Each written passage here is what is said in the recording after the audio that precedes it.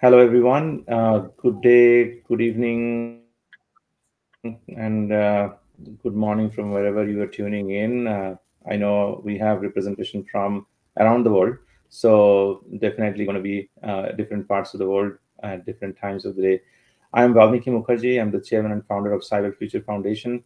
Um, as many of the uh, uh, community members know, we are uh, focused on leadership development and leadership males teaming, and team means talent.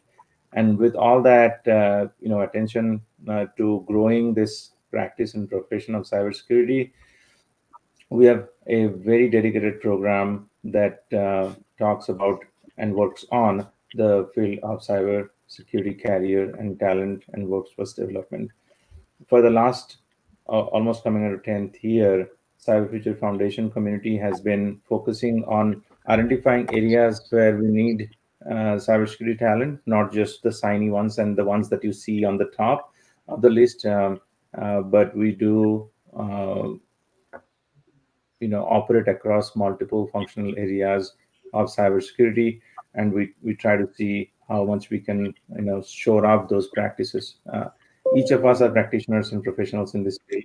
Uh, some have spent uh, decades in this area. Um, some have kind of find, found their way into cybersecurity, and uh, many, I, you know, fortunately, are looking to come into this field, and that's where we're focused on. This particular workshop is coming out of um, almost two years of working in this field. The uh, after the cyber talent workshop that we our Cyber Talent Week that we hosted two years back. Um, well, you know, if we were to get all gather all of those leaders back together, I think that would be a monumentous task that we pulled off during COVID. Um, but now everybody's back and busy. Um, you know, hybrid, in person, uh, virtual, you name it, uh, and uh, pretty much working the same round the clock hours that we have been, uh, but you know, with some physical presence. So uh, we, we thought, you know, start, break this uh, agenda of about 20 odd topics into, uh, you know, two to three hour chunks that we can give the time for our practitioners and fellow community leaders to come in and talk about. Uh, you will see representation across this, uh, you know, live webinars uh, from different um, stages of practitioner and professional life uh, and also will bring in some of the candidates and their experience. Uh, unfortunately, you know, one of the candidates that were part of this initial um, working group uh, had to go for a, a interview, and and uh, so that that's a great thing. It's actually a progress in that space if you think about it.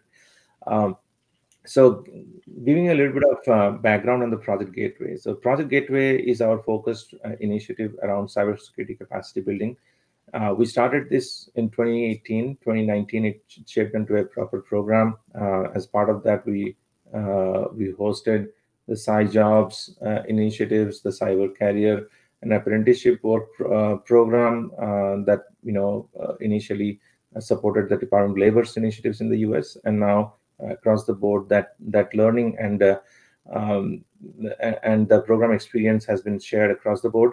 Uh, uh, that led to the 2022 program uh, around Cyber Talent Week, where we invited pretty much every stakeholders in the cybersecurity career journey into having those discussions, which led to a white paper that we published. Uh, as many of you know, we don't do a lot of white papers, but some of the um, some of the programs really need things to be memorialized, right? So that that was one of the um, you know initiatives that we took to document the findings, and uh, last two years actually worked on them. Um, some of that went into how the careers um, of the current practitioners uh, is shaping up in terms of the growth in their professional development, uh, going from you know a few years in cybersecurity technology and programs to uh, going into more um, executive and leadership platforms as uh, you may be trending um, you know uh, tracking the trend already that many of the CISOs are actually taking on more business leadership roles, technology leadership roles.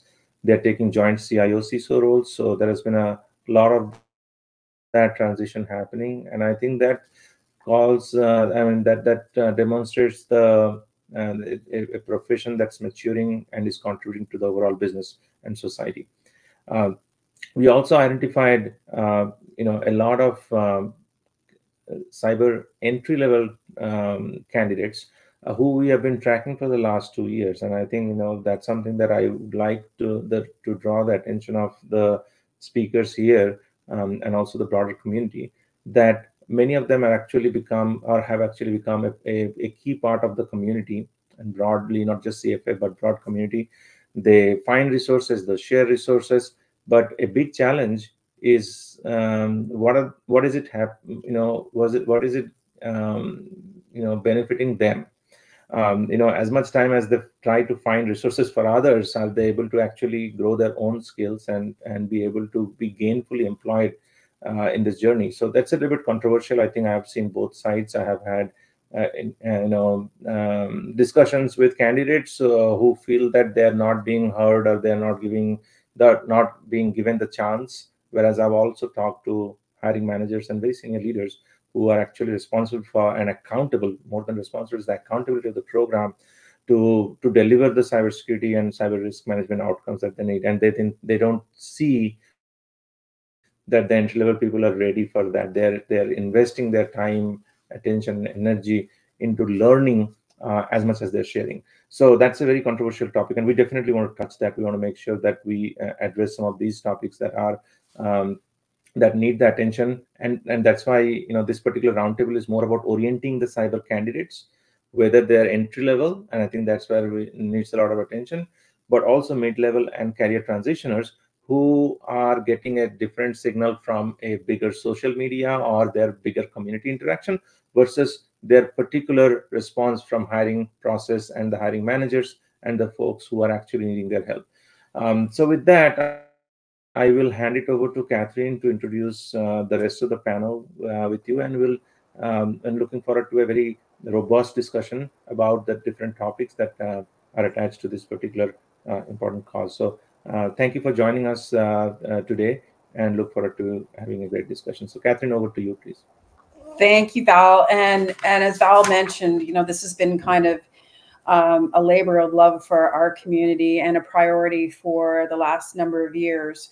Um, and as Val mentioned, um, the Cyber Talent Week, which was a five day um, hybrid event, um, three days we devoted to um, topics and, and, looked at, at the, the, the, topic of cyber capacity building from a number of different lenses, um, from both uh, you know, diversity, equity, inclusion to how do we make, you know, how do we help mentor and support folks that are coming into the um, into the industry. So I'm really excited about this panel, uh, namely because everybody is actually at different stages of their career. Um, some have career transition like myself. I came from the business process and outsourcing industry. Um, I became interested in, in cybersecurity about 13 years ago. Um, and it was, while it was challenging to get into the industry, once in the industry, I found a very welcoming community. Um, I thought we would start off with Gordon, if you wouldn't mind kicking things off and, and giving our audience a little bit of introduction into your background. Sure. Um, first, I want to say thank you, Catherine and Val. Uh, I think this is a uh, unbelievable opportunity to spend an hour or so with um, some of um, uh, remarkable folks from from uh, various organizations and and um, share some of our experiences. So my background, I started in the IT industry in the late 70s. I know it seems like yesterday, but um, you know the world is has kind of gone full circle. Back then, it was data centers and service bureaus and and um, mainframes, and it seems like we, we've gone back to that. We've gone back to this world uh, where today we have the cloud and we have essentially um, mainframes serving up cloud services. Security has become um, a critical thing. Back in the old days, we didn't have to worry so much.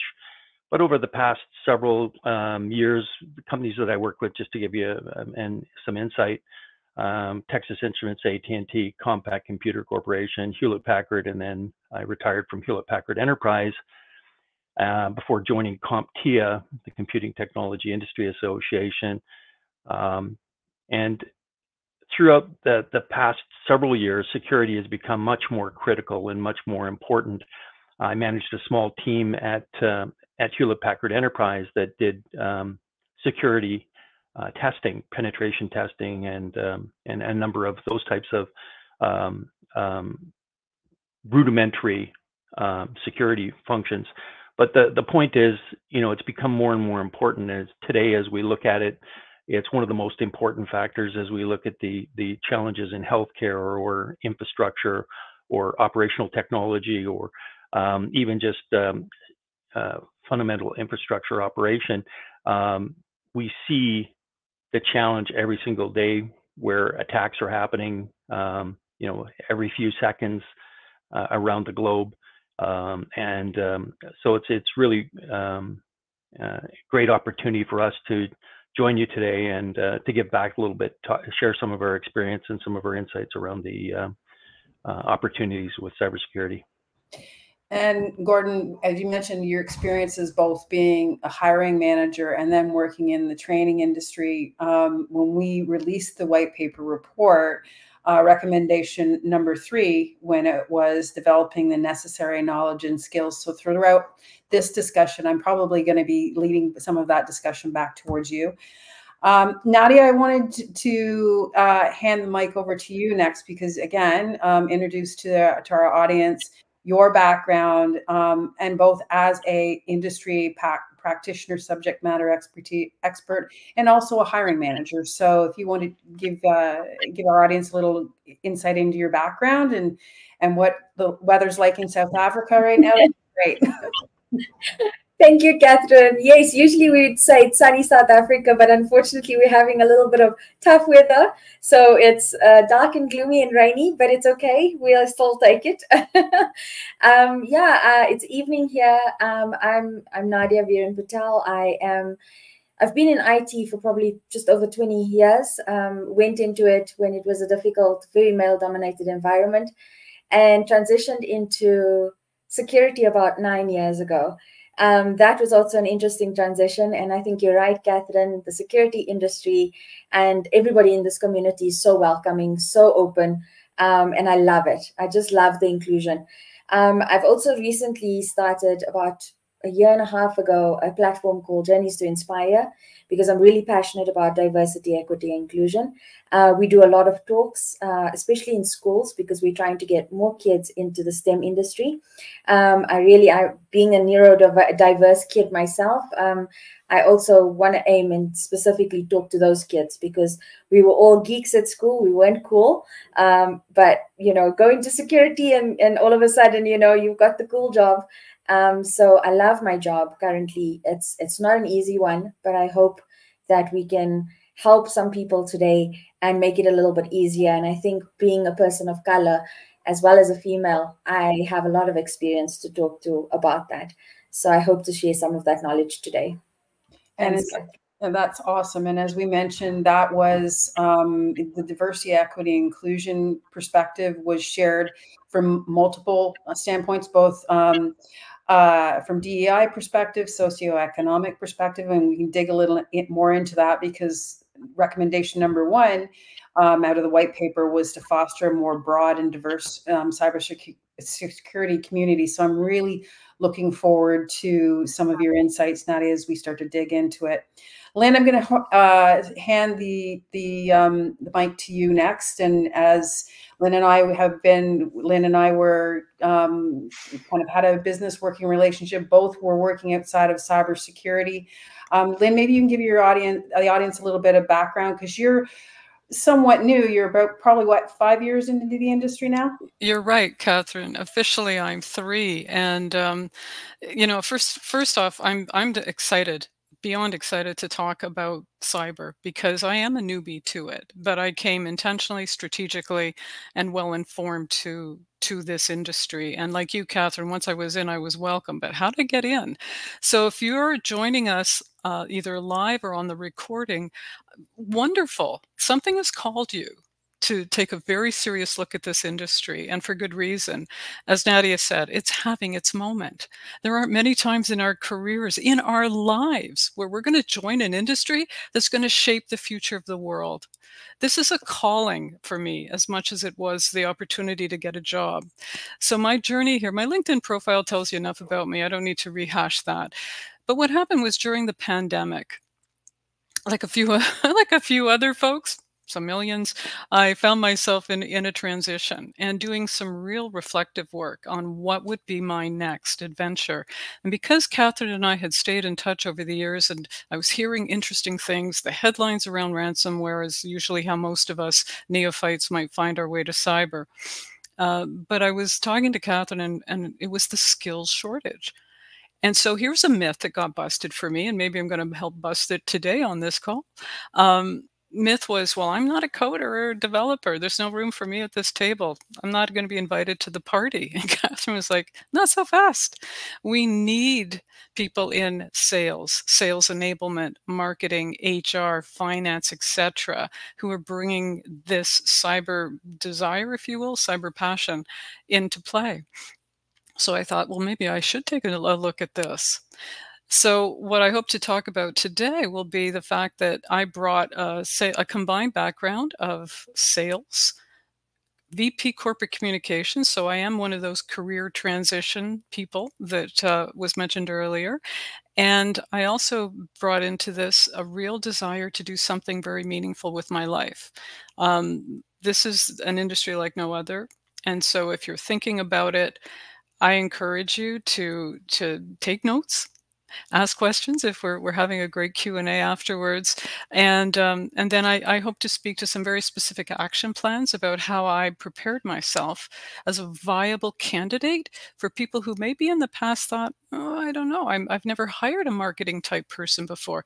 Because remember this is an industry that's maturing. So, a lot of times, the job that's needed, the work that's needed, the outcome that's needed hasn't yet been defined.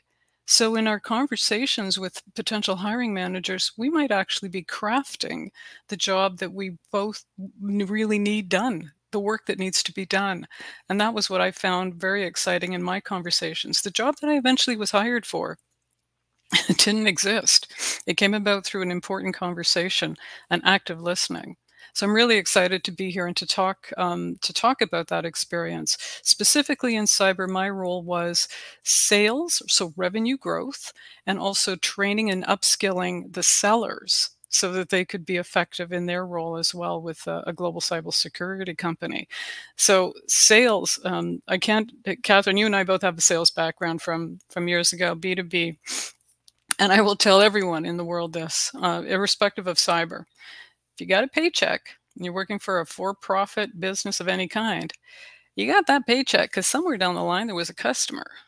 But in between that was someone called a seller who had to make real good sense of the technology or the offering or the service and help fill that difficult uh, need or, or solve that problem and create a solution. And cyber is an incredibly important sales profession right now. So I'm happy to talk to that.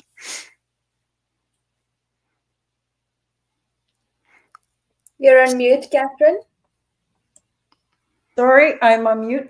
Um, sorry, Lynn, that was excellent because recommendation number two in the five-part uh, program was to strengthen and the recruiting and employment best practices.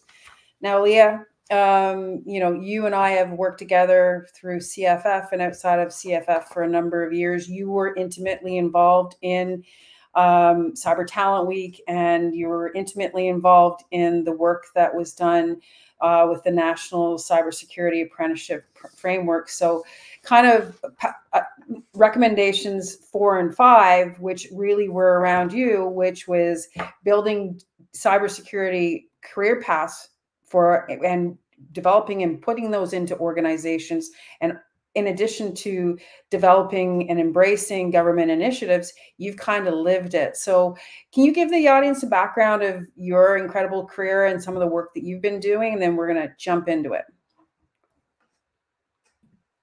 Sure, coming off mute here. Um, nice to meet everyone, and I'm um, glad you could join us. And thank you, Val and Catherine, and um, all of these speakers for this session today. Um, my career was uh, I've always been in tech, but I started in PR and marketing and more on the business side, and then that morphed into product and strategic alliances. And I got into cybersecurity um, 10 plus years ago when I was at Cisco. And I've been both, you know, hiring manager, um, career transitioner, and my career was more like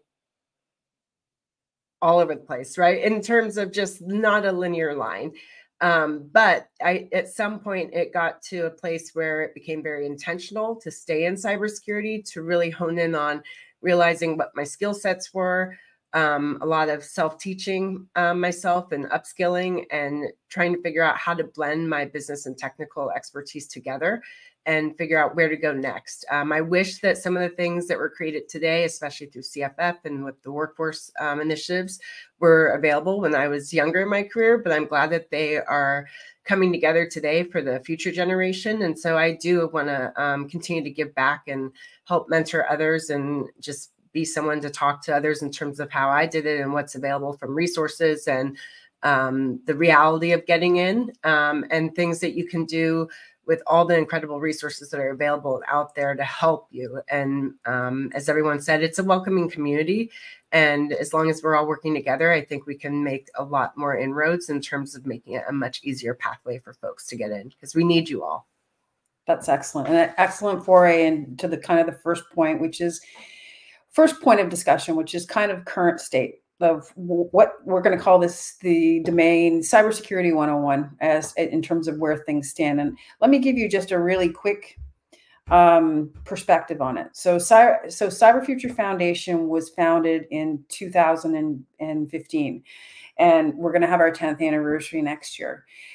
It was for it was established with one really key goal, which was to connect security leaders with the C-suite and the board and many folks can maybe understand it. Gordon, you you probably lived it, um, because at that point in time, cybersecurity was not very well understood or or, or discussed.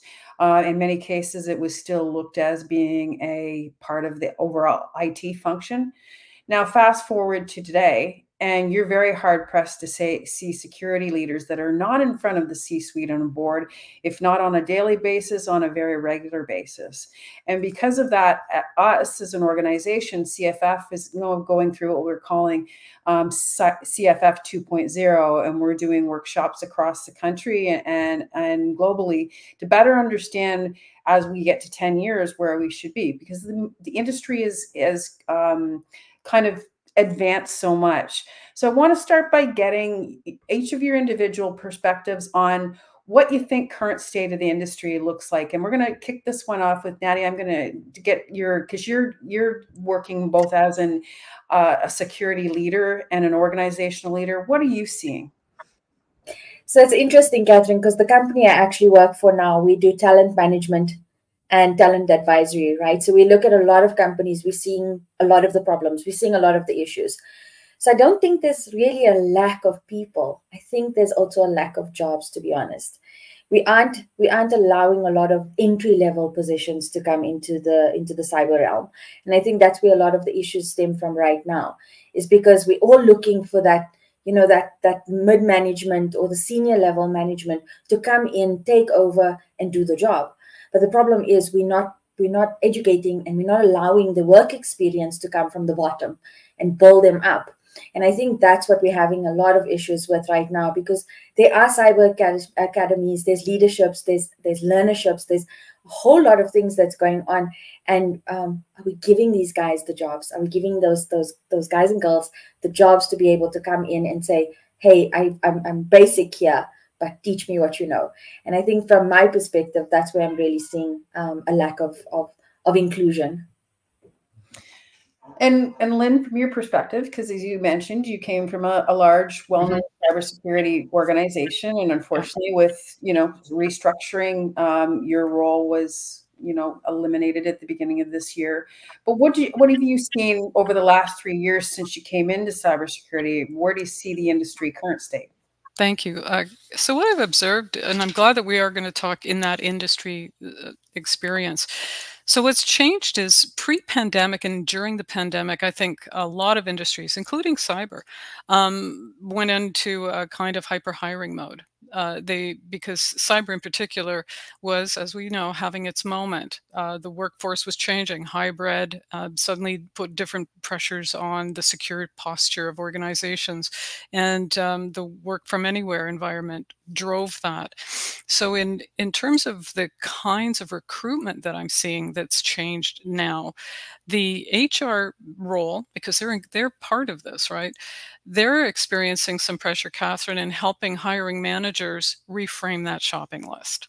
So it's it's uh, they don't have an easy job. So if anyone on this call is either in HR or knows someone, I hope you'll share this uh, this uh, discussion with them because we feel your pain it's up to um, it, it's really going to challenge i think hr strategy to um, and i'll speak to cyber on two sides of the fence if, if it's okay catherine. On the one side you have the companies that are producing the software or the solutions or or whatever and included in that might be the partner channel. So you've got those folks. But then you also have companies and organizations and government who need to hire CISOs and need to hire that type of talent. And here's what I'm finding very interesting. From the top CISOs I've talked to, what's changing is that marketing is becoming a career pathway to a CISO in a large organization. Whoa, what? Say that again. Marketing is becoming the pathway for a job as a CISO. So that's Catherine, one of the big changes that I'm that I'm seeing and hearing on both sides, which means sellers are now going to have to really engage that conversation differently. It's not going to be about latency and speeds only, POPs and all of that. You're not going to be able to talk plumber to plumber to this guy or gal because they're talking their business growth. So as a, an industry matures, the stakeholders that are going to be involved in the decision making process and conversation is also going to change. Uh, the board is much more involved in this for sure, but that doesn't still change the fact that the board's not going to have a super technical conversation.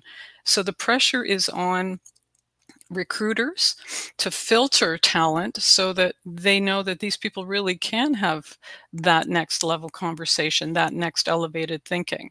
And that's where I think this uh, cyber is going to have some challenges, some growing pains yet again, because it's having transformation within transformation after a pandemic coming into macroeconomic conditions that are unprecedented and geopolitical forces that that have challenged this industry as well. So it's a, it, it's really going to be important for organizations to engage hr and talk about outcomes not just shopping lists and boxes. What are the business or organization outcomes that we need to be talking about? And by the way, if you are looking for work in cyber, what a great opportunity when you're interviewing, even if it's not exactly with a cyber company, ask them, who's leading the cyber conversation in your organization? How's that changing? Those are insights that you can then bring to other uh, other conversations, other meetings. One thing about this uh, industry, Catherine, in the community, is we share across you know here's what i'm seeing. And what i'm seeing in the recruitment and in the hiring is uh, the, yes we have to elevate our games no question. Well that's a really interesting point because one of the things that when we and and gordon and, and leah have been a part of these discussions we were in in davos in january for cyber future dialogue you know, with the cyber board book um, project had been completed. We, we did the announcement when we were in Davos, but this was a direct outcome of our discussion in 2023, where we were all talking and waiting for the judgment of our good friend Joe Sullivan. And we were all saying, yeah, but the role of the cyber uh, leader is no longer one one one dimensional. So you can't just be an IT genius. You have to be a business communicator. You've got to be an educator. So as Joe said, you you can't be a one trick pony anymore in this role. You've got to bring more to the table. Leah, you're kind of living this because you know your your mentors uh, have been very strongly encouraging you because of your business acumen, your understanding of the industry, but also your business acumen and communication skills that a BISO role is maybe where you should be headed. What are you seeing right now? Yeah, and you know, I I will say in asking just a lot of CISOs how they got into the role, there is a, seldom do I ever hear a linear path, right? It's not that they say I started an IT help desk, then I went and ran a SOC, Um, you know, was a SOC analyst for years, and then I switched into GRC, and then that morphed into becoming a CISO. Um, it's all different responses and all different backgrounds. Um, and sure, many of them do come from the IT realm. But that being said, I think um, where we can kind of pull everything together, right? We've got, uh, we have the frameworks for the job roles, and those are always redefining. Um, those are going to pull on many different skill sets, both from the technical side and the business side and the soft skill side, and having empathy and, and many other skill sets involved, as you mentioned. And then the organizations that are needing to come together from academia to the industry um, to uh, organizations like Cyber Future Foundation and others in the workforce. And I think we need to have more alignment from all those industries. It's happening, but have more of it to further define and have, I guess, clearer pathways, but then also thinking about the ecosystem of people, right? So you've got those that are here in their top career, but looking at retirement. So, how do you then funnel down to the middle management and those leaders that are coming up to replace them um, to take on the onus and the uh, mentorship to pull the younger generation or the career transitioners that are newer into the roles to help them grow into their field and figure out where those pathways are and, and how to get there um, based on all the resources out there and then keep that going in a more seamless, effective manner, right? It sounds easy to do, but it's not. And we've been trying to do this for years, but we have made a lot of inroads. It's just, you know, what more do, needs to be done and what's working. And let's really hone in on what the what's working and keep at that. And that's, and we, this will be kind of um, fodder for kind of the, the future discussion as we start digging into some of the other topics that we've kind of put on the table for today. Gordon, for you, again, working as a industry as a practice leader and then going into your work with CompTIA, especially when you and I've had these discussions many times that you know the, the industry is so fluid and the requirements, whether it's the influx of requirements for AI, quantum coming in, discussion coming into the picture, it changes in terms of what skills are needed as a practitioner. What are you seeing right now in terms of what current state looks like? Well, it's change, changing, and it's constant change. I guess is the word. Um, but to you know um, reiterate what what has already been said, you know, it a few years ago it was a set of technical skills that positioned you ideally to work in this industry. That's evolved to today where it's business skills, it's communication skills, it's um, team building, it's all of these things and the ability to present and and influence the board. Um, so you know, if we're talking at the at the C level, um, that's the evolution where you were an IT specialist and you were the CIO or or uh, CTO or or pick a, a designation and you were seldom in front of the board. Well, today now you have a seat on the board. Um, so we've seen that evolution. From a from a technical uh, practitioner perspective, we're seeing similar uh, transition where in the in the um, old days, you know, several years ago, um, you required a set of very heavy technical skills, and the criteria to join um, the cybersecurity realm was um, something like this: it was five years of experience, a university degree, in an, uh, in an appropriate um, area, so preferably uh, computer science uh, or mathematics, or you know some some heavy duty uh, technical degree, and then you could become an entry level person in cybersecurity. Um, what we're seeing today um, is that evolution where we're looking for creativity, uh, flexibility, adaptability, um, drive, desire, all of those things combined with some fundamental technical skills, and you don't need a degree. So we've we've seen this shift occur. Now back to to Lynn's point, um, we are having to help HR who are following um, some old guidelines uh, in a lot of cases, and they've got a list as long as my arm of technical skills that they're they're screening for, and one of the problems we get into is organizations that are using um, uh, automated tools to recruit and to filter candidates. And if they're using those old um, prescribed lists of skills, they're losing a lot of good candidates. And so one of the challenges we've had over the years is trying to influence HR to open up their their hiring practices, look at things like certifications, look at things like skills, and um, use those as primary indicators. Um, tie into that creativity, adaptability, communication skills, all these things, because ultimately you are working with people. You know, the, 10 years ago you were working with computers and probably in a dark room today you're working with people and you're having to communicate and uh, raise awareness of some of the challenges that are that are coming so we're seeing this evolution and one of the big challenges that i talk about all the time is the fact that i think the stem drive has done a great disservice there's a lot of people that think they aren't smart enough because they don't have high stem scores they aren't smart enough to work in in cybersecurity or in tech and that's a misnomer. Um, there's, you know, people like me can work in tech. You can work in tech. Um, the the point is that um, it, it it's all these other things that are more important than your your your technical background or uh, what your education is is about. It's it's about desire, aptitude, uh, you know, and and um, a lot of cybersecurity can be gamified essentially. So you're a defender. Um, um, trying to defend against attackers, or you're a penetration tester, so you're an attacker, and um, somebody's trying to defend against what you're doing. So if you have um, you if you want to make it fun, it can be fun. It can be that type of a, a gamified situation that your job can can can be where you come to something new and fun every day.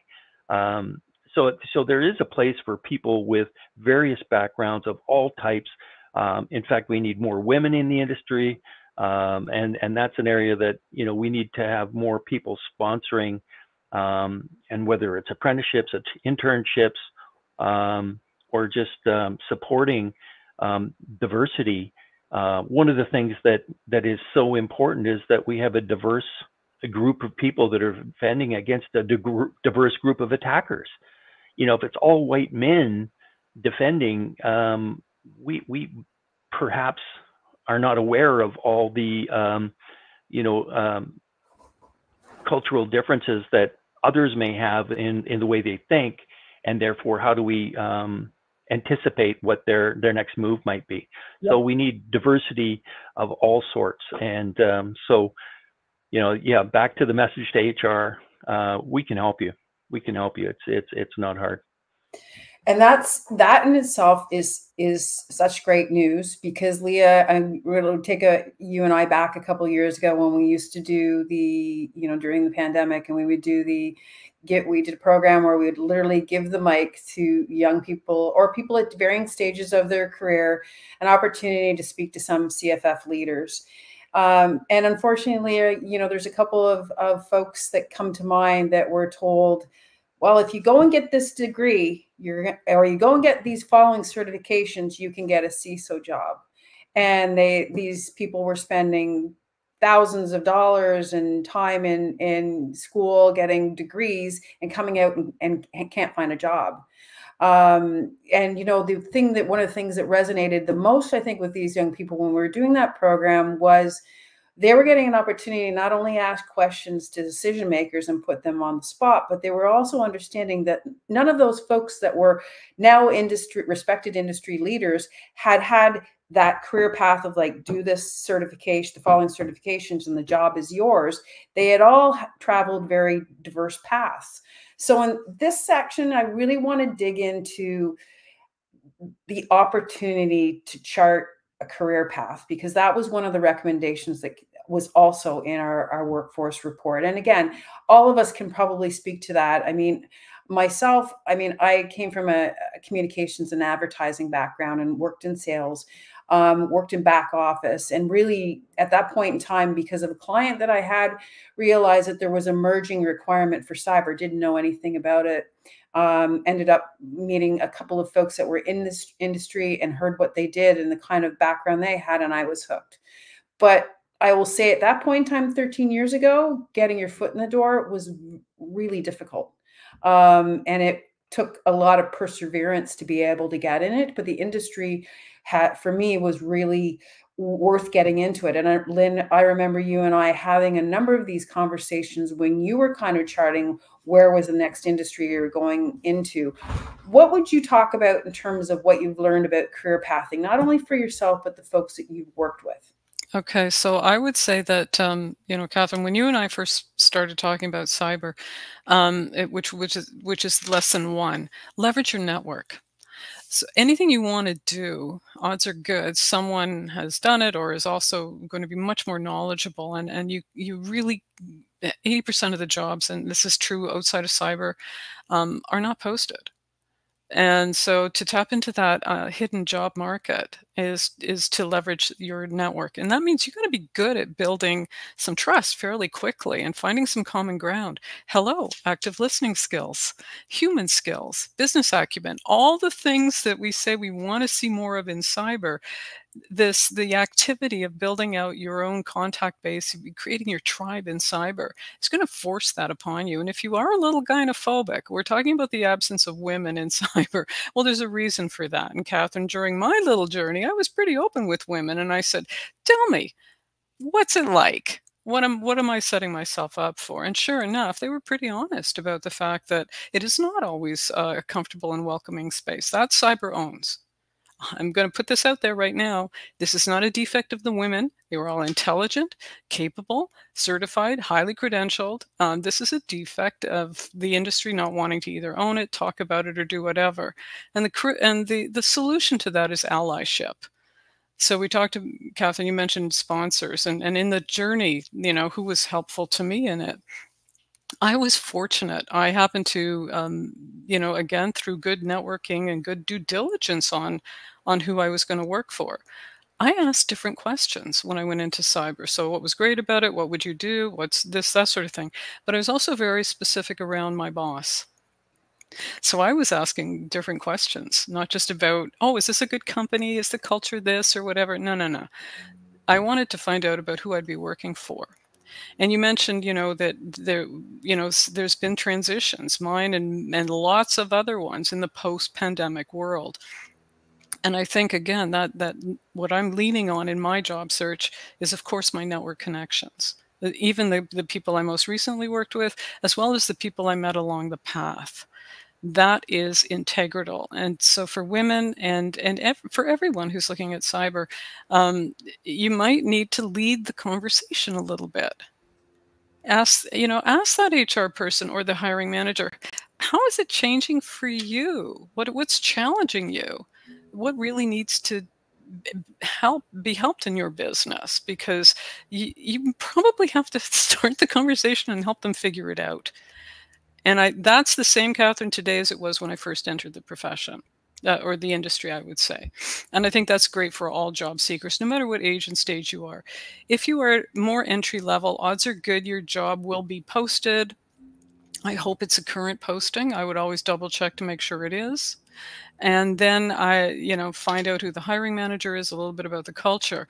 Mid and more senior people, that network is going to be where you're probably going to find out about a contract. And and this is some self-reflection. Are you open to that? Would you be willing to take a contract of six or 12 or 18 months? I was.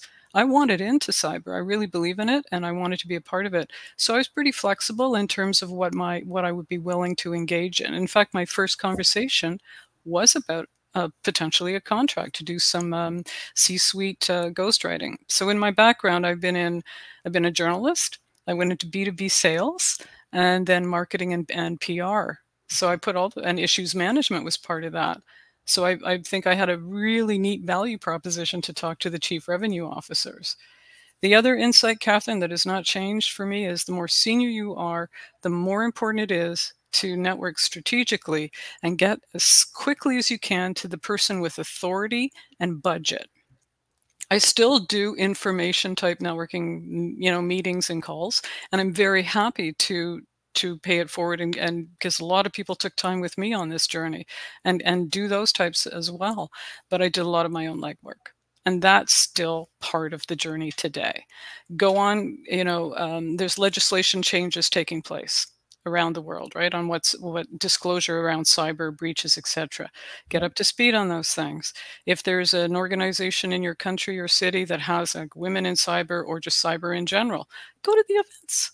Now that we're out of the pandemic, we don't have to just be a blue light a smile and a screen we can go in person um, get on a panel talk to people um, you know ask ask good questions be an active listener and a humble student catherine that has still been foundational in the pre-pandemic job search and in the one i'm on now and we heard that um, from not only those looking for their first job in cyber whether they're coming out of school or trying to do that transition we even heard from senior executives. One gentleman that came to mind was just finishing up active military service, well regarded and rewarded for his expertise and leadership in cyber for the government, and came out and was dumbfounded that he just thought, well, I, my resume reads and I'll just apply for jobs on jobs boards and and didn't realize till six months into his journey that that's not going to work. Um, Leah, for you, you know it from both counseling folks that are looking for a career path or looking for that first opportunity to being the job seeker. And I mean, probably you're the one, most networked person I know. Um, what do you want to, what's your perspective on terms of career pathing right now? No, um, well, thank you for that. But no, I have uh, ways to go to keep doing that, but it is important. Um, so one, I'd say leverage build your network because um, unfortunately the whole notion of i'm just going to apply to all the jobs online it doesn't work right? It really does involve having somebody you know take your resume refer you in and do that extra step. Um, that's that's how i've mostly gotten any interviews is that path versus just applying online. Number one um, number two, leverage what you can in your existing jobs. So, for example, I knew the skill sets I needed to build um, as I was, you know, plotting out my journey. So I would take advantage of it in my current roles at my current companies. Where okay, if I needed to have a better understanding of certain technologies, I literally just went to the engineering and cybersecurity teams and said, "I want to learn. Help me understand. I'm curious." And they love that. They will bring you on. They will teach you. They will give they, they love talking about what they're doing and they want others to learn it with them and help them. Um, so leverage all of that that you can. Um, hone in on your skill sets that you have already um, and and market those because those are translatable to everything in cyber mostly if you will find that um, like a lot of what lynn was mentioning i call them osint skills today right um, and some CISOs I've talked to recently, they've um, mentioned some of those things that they're trying to hone in on because they came up through, you know, the pure engineering side, and they're now trying to gain those other skill sets as they find themselves in a business role. Um, and then, you know, really um, look at the different job descriptions out there um, and understand where you have those translatable skill sets and make that known. And and i will say we all have to be accountable every single one of us in every single position whether it's in hr the hiring manager the ciso um, whomever it is within the organization or if you're the job seeker you need to market yourself. Um, not everything's going to be perfect and it, it's going to take a lot of accountability on everybody um, and coming together so and sharing but there are there's no shortage of resources so i'd say take advantage of them i mean i'm an introvert but i ha- you know i have to become um, with extrovert tendencies to really um, establish my network and get to know people and i will say that nine out of ten people when you ask for help they will help you, especially when they see that you're doing the work. So I will also say that it takes putting the work into things when people know that you are capable. You may not have all the skill sets. I, I'm not the most technical person on the planet, but people know that you're um, willing to learn, you can learn, and that you have that desire and motivation and passion. You can do anything. And it just takes time and work. So just put do the work in and you'll get there. That's that's awesome, and and again, you're um, a shining example of um, that curiosity um, to actually ask those questions and engage your in an environment that you're working in. Nadia, I'm going to be a little more specific for you, and, and I want to give you some context around the career path. When we did the when we did Cyber Talent Week, um, one of the things, and when we were talking about diversity, equity, and inclusion, was obviously, you know, government wants more women in cyber. We want more people in of color in in cyber. We want the neurodiverse. We've talked about it from different aspects. The socioeconomic was one that came up as well. We had one young lady who talked about the fact her family was a re, had recently immigrated to the U.S.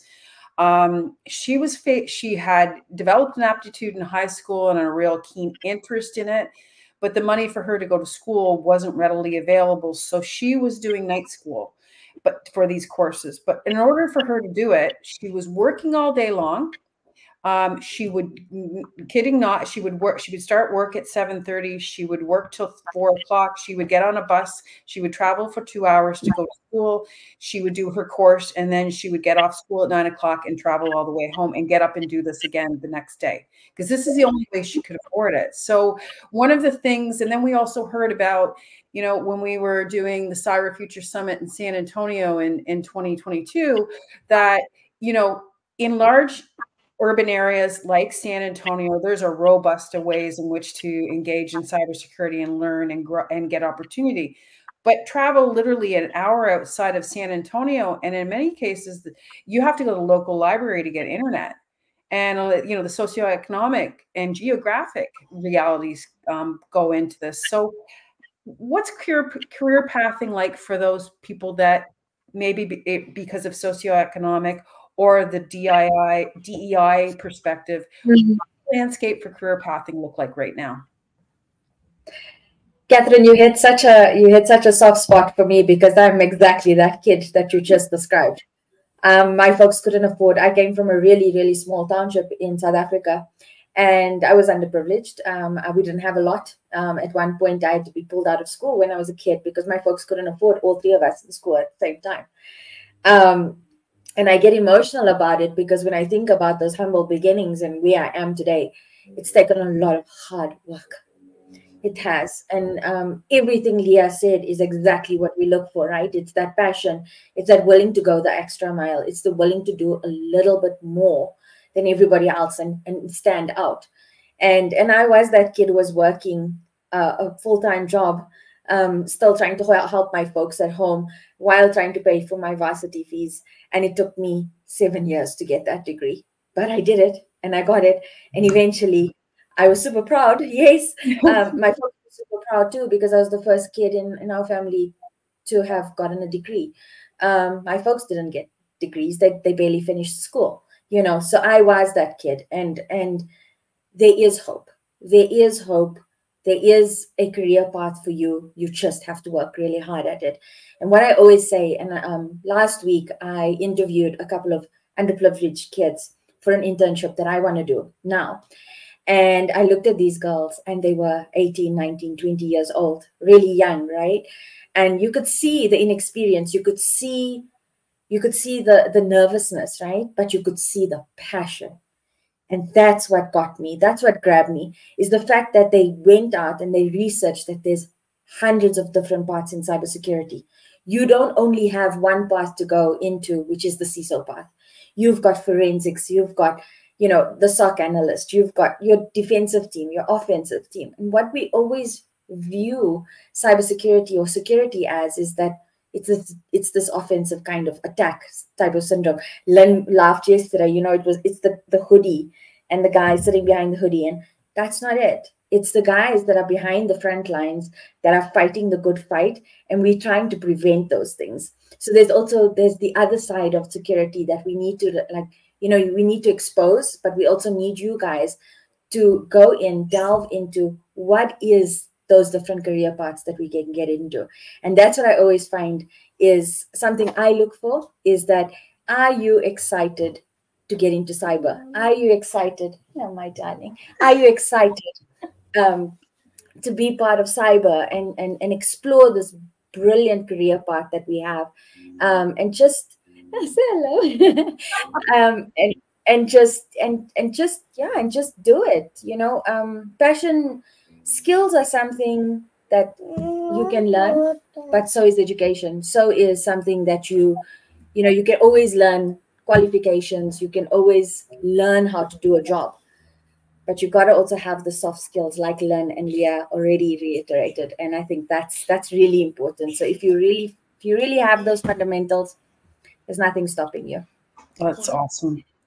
You know, um, the inspiring kind of the career next generation, Gordon. I like you've been speaking about this for not only in official roles um, professionally, but I think you you've got a commitment to the volunteerism side of things. Um, what's your perspective on career paths now? Well, I think that a um, couple of things. One is nobody's going to do it for you. Uh, a lot of companies that I worked for didn't have career paths. I had employees come to me and say, How do I get from where I am to your position? And there was no career path provided. HR didn't have any any guidance. We um, we we we helped people the best we could, but um, you know the things that I, I think are really critical in this is is curiosity, uh, flexibility, adaptability, and for the people that are um, curious and they want to explore these things, um, they, they will find a way. The, the second important point is that, uh, and I think Leah said it earlier, is the pathway isn't linear. You don't go from from here to there in a career in a straight line. You typically have to build a foundation going back and forth a little bit. So you know you need to build that that um, foundation out um, to have the strength and capability to gr- grow up. And um, so a lot of people they need to take a deep breath and go oh that that you know i don't go from um, this technical role to a manager role to the C- ciso role in in two steps. I have to go from this technical role into a network administrator role into um, another cybersecurity role and and then up into a management role and then you know perhaps move into marketing or into sales or into some other thing and then back into the CISO role. It's it's not a linear path.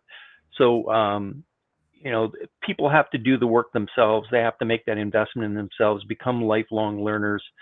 Um, there are a lot of tools out there. CompTIA has a career pathing tool um, NICE has a cybersecurity workforce framework that has career pathing.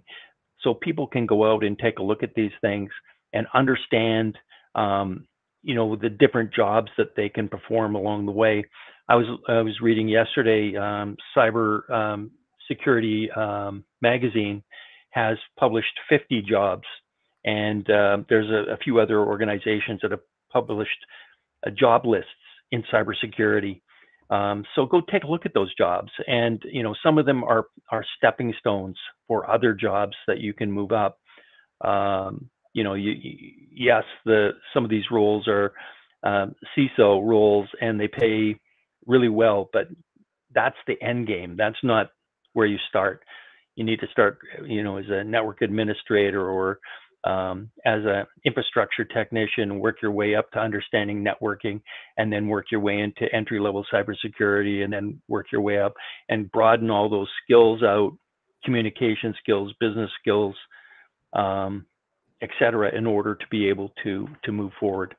So um, I know it's kind of a convoluted answer, but um, it's not it's not a simple um, pathway. To put it that way. No, actually, it's a wonderful kind of foray into the next topic, which is skills and, and qualifications. So I'm going to put you on the spot yet again um, because we wanted to talk about what, yeah, and we get this at CFF a lot, especially with those folks that are looking to transition into their first career in cyber, like career transitioners, then they're trying to get into the industry and young people that are looking at what course I should be taking. And we and each year CFF we do uh, internships. We never with usually it's been college and university students. Last year we started bringing in high school students because high school students had had an aptitude and interest in cyber, but weren't sure what they should be taking post secondary. From a CompTIA, I'll ask you to put your your CompTIA hat on. Um, you know, what are, in terms of developing new programs and certifications, because as we talked about before, this, the industry is extremely fluid. What are some of those what are some of the programs that are a the most popular right now and what are some of the program development requests you're getting in terms of is it ai driven cyber what what are you what are you folks seeing so ai is is becoming important but that's let, let me start at the foundation yeah. so um, really you need it fundamentals to begin and you need some it infrastructure um, education, knowledge, and experience. So um, one of the things I, I recall from when I was looking for my very first job when I graduated school, um, you can't get a job without experience and you can't get experience without a job. And so sometimes you, you know, you, you need to look at an internship, an apprenticeship or something, even volunteerism where you can get your hands on equipment and get the opportunity to prove yourself. And so um, the education piece is important, but the experience piece is just as important. And so um, build yourself a strong foundation. As I was saying earlier, IT infrastructure. The next step is networking. And then the entry level, you know, then with three or so years experience of IT infrastructure and networking, you can make your entry into cybersecurity. Um, so we're seeing that as as the pathway if you will. As far as um, technology today, one of the, the fundamental jobs or lower level jobs in, in um, or tasks in cybersecurity that, that is mundane is um, threat analysis, looking at all the various threats and determining what's real, what isn't real, what needs to be investigated further by the really smart people. Um, that's where AI can come in. AI can provide a huge um, hand to the organizations in order to um, sort through all that information and pick the the primary uh, threats uh, from the noise, from the threats that can be handled by automation, and uh, that's where we, you know, I see um, AI being a, a big advantage as we move forward. Is enabling companies to deal with the millions of attacks that they're getting, you know, each and every day, and sorting through the you know the the handful that are real serious threats so and I, and I guess Leah, if we put the put your you've been working in consulting for the last couple of years and working with large clients. Um, what are the types of skills that your your clients were looking for in terms of their workforce? Where were the, the where were the gaps? Where were the the emerging opportunity? Where and where it again from the soft skills side of things where were you seeing those that were trying to advance their career trying to develop those skills because i have a lot of folks that i spoke to that are very highly technical that are now taking communications courses because they need to be able to be better writers, better presenters, that type of thing. What were you seeing from the consulting side? Yeah, um, so definitely active listening, right? Um, really understanding each person what they're trying to say and what their pain point is. And it's going to be different for each stakeholder. Um, but it's important to have that understanding because at the end of the day, you might find that um, they might say it four different ways among four different people, but they're all maybe trying to communicate the same thing for one mutual goal. But you have to translate that, right? And you have to have that understanding from them. Um, ask questions to also help yourself better figure out what they're um, really trying to solve. And then become the problem solver, right? Um, across the different stakeholders, translating between the technical and the business and coming together with um, you know ideas and recommendations that bring them together um, and bring them to a common understanding of that main goal that they're trying to get to to achieve and how they can do that um, cost effectively and efficiently um, i think those are the biggest things really be that active listener ask questions and it is going to take to some degree you have to decipher the language right and break down to get them to realize that, or you will realize that they might all be trying to say the same thing or want the same thing, but they're saying it in different ways. So you you you have to focus on where's the translation and not getting lost in that translation. And so, and again, that communication, not only in terms of developing and articulating your own personal brand, I think we can say the industry as a whole needs to be, do has done a better job than if we look back on two years ago you know that was one of the recommendations that came out was hey our industry needs to do a better job communicating outwardly as to what are the what are the perks benefits and what's the de depth of opportunity that a career in cyber has to offer? Um, len from your perspective is our industry doing that right now? Like are we telling a good story or where do you think there's a gap in the narrative? Just based on um, again the sales and the sales engineers that's that's the sandbox i was and i don't mean sandbox in terms of testing the the, the software. I mean that's where professionally i was i would say it's improved catherine i think there's that you're we are seeing some roi for that. What's interesting though is um, for anyone who might be more technically inclined and thinking about that pathway that uh, gord mentioned and nadia's mentioned um, don't discount sales. Uh, most uh, surprisingly, most sellers in cyber are joined and partnered with an expert who has the technical what's fascinating to me is when I when I was looking at going into this industry, those are the guys. These are the two people I wanted to do a lot of information calls and find out about. And it's interesting because we don't seem to do, um, as an industry, uh, I think, still the full service of what an enriched career, anything around revenue is or sales. Sales is not a dirty profession. It's not a bad thing. If you have technical skills and, you're you're really great um, or nerdy, as as Nadia would would say, or geeky, sales has a need for you because that's where that's where it hits the road. That's where someone is going to make a decision that could change the outcome of their business or their city or their state or country because they're going to make a, a, better decision for a more secure posture. That's that's why this is such a neat a neat industry and, and any profession in it so i would say the um, Eh, we still could do, I think, a better job of, of reminding everyone that at the end of all of your activities and trainings, the reason for it is a better world, right? And so whether you start out um, with a, a, partner with a sales guy, that's okay. That's great. Um, because you may then pivot into some other aspect of it, into training or into working with government. The, once we're in, those the journey can be quite quite interesting and exciting. So don't discount sales or revenue growing um, aspects of your technical skills. They're needed there too.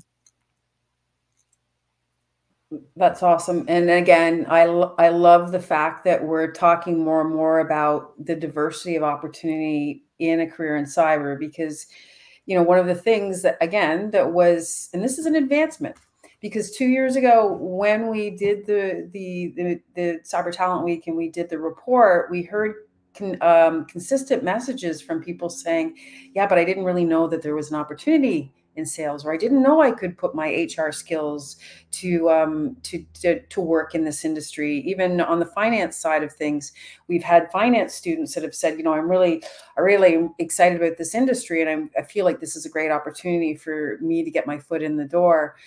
Not a as a a practitioner, um, do you feel that there? What do you think the, the requirements to do the job that you're doing and future jobs that you want to do what are those skills that you believe that are needed um, in order to be successful? And again i'm going to reference to a little bit back when we did the prep call yesterday which was incredibly insightful and i love the level of passion you you all have about the industry and and the opportunity but as we talked about too, there there certainly were some challenges that were presented to women working in cyber, especially during the pandemic.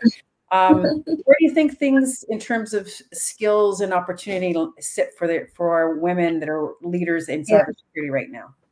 Yeah, I'm gonna I'm gonna start off. I'm gonna you know um, I've also worked quite well with a lot of certification industries like IC, uh, EC Council, and the likes and and um, Gordon, all due respect, but I, I, I slightly disagree on the you know have to have a technical background, and I think that's where it starts for a lot of women is we discount that. We always say, "Ah, oh, I'm not technical enough."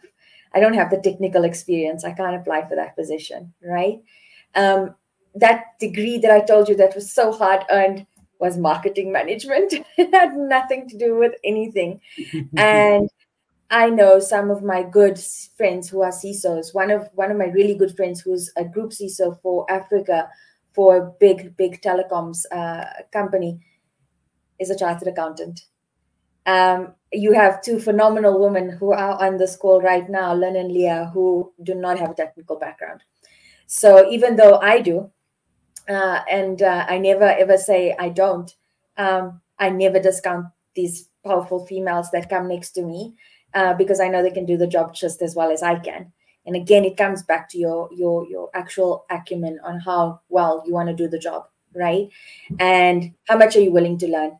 Um, I've never had a day in my life. I'm currently studying my master's, and I had to learn quickly, really quickly. Um, and it's not for a lack of trying, but I think it's it's you know, oh gosh, it's back to that mindset am i technical enough to do this? Do i understand enough about the networking?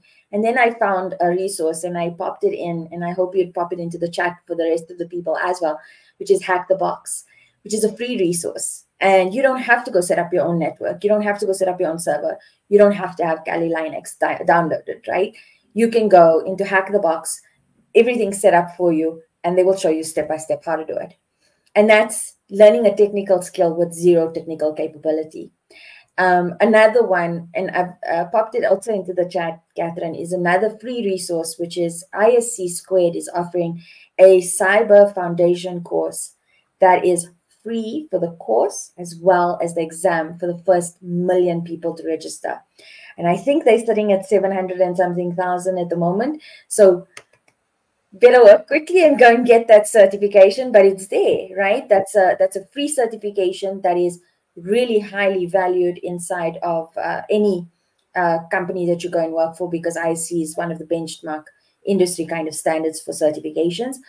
Um, I myself don't have a lot. I've got a few certifications that are in cybersecurity, but what I think has got me far is my work experience as well. And I'm I'm able to walk into a room and able to talk to a company and cross over from a technology perspective into a people perspective.